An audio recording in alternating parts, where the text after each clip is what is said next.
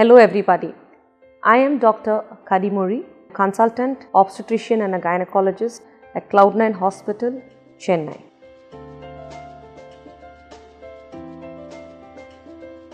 Preeclampsia is definitely a high risk condition.